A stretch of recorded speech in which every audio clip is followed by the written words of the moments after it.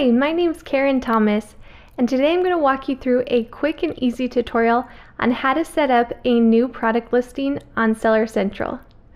So let's begin. The first thing you need to do is to log into your Amazon Seller Central account. Then you're going to go to the Inventory tab and you're going to select Add a Product from the drop down menu. Then you're going to click on Create a New Product Listing. So for the example today, I'm going to use a water misting fan and I'm going to put the product title right here in the product name field. And then you don't need to worry about the package quantity. For the manufacturer, just put your brand. So in this example, it's O2 Cool. Don't need to worry about the model number or the part number. The brand name, I'm going to put O2 Cool again. Not going to worry about the size or the size map. Color, I'll put blue. I'm not going to worry about the color map or the exemption reason. The product ID field is where you're going to put your UPC barcode number.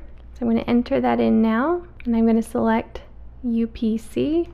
So I have this first tab filled out. Okay, and then for the variations tab, if you have several variations of your product, and you're going to enter it here.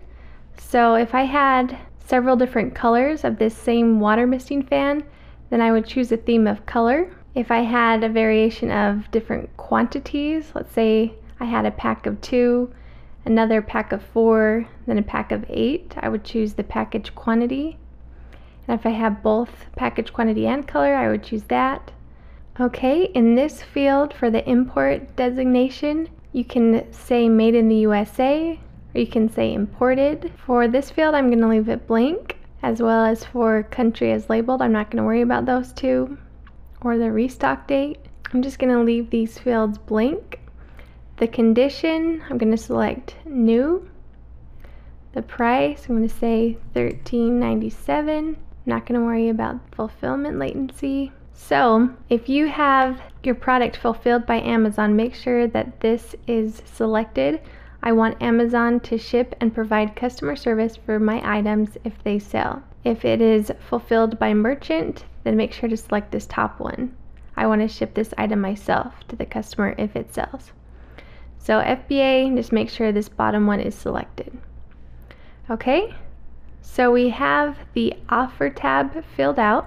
Images, We'll just use a quick example. We're just going to choose a file, just use these very low quality images I took real quick using my phone. You can import a total of nine images, and I highly suggest doing that. Images are really powerful, so make the most of your images. But for this example, I just showed you a few quick images I'm going to put in there. Okay, and then in the description field, this is where you're going to put your product description and each of your bullet points. So the product description, let's just use a funny quick example. Again, I wouldn't really say this if this were my listing. This is just to show you a quick example. So the key product features are your bullet points and you can add up to five. So I'll just copy and paste the bullet points here. Okay, so we have the description section filled out. Then for keywords, just ignore the platinum keywords. Target audience, that's a great place to say who you're trying to target. So let's say for this example, we're targeting adults. And then in the search term field, this is a great place to add as many relevant keywords and phrases into the back end of your listing. And so you can add tons of different keywords. Then you can list other attributes. So I'm just going to use portable, intended use, for travel. So we've filled out this keyword section. So in the more detailed section, I'm going to not worry about the shipping weight. I do need to say that batteries are required for this product. And then the only crucial thing to put on this tab is the item dimensions, the length and height and width. Okay, so after I fill out all of the information I can in each of these tabs, then I am finished and I'm ready to save and finish and my product will be ready to go live on Amazon.